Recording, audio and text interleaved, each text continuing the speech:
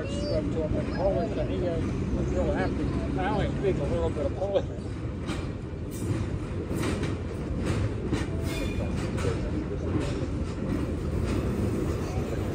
Mind your weight.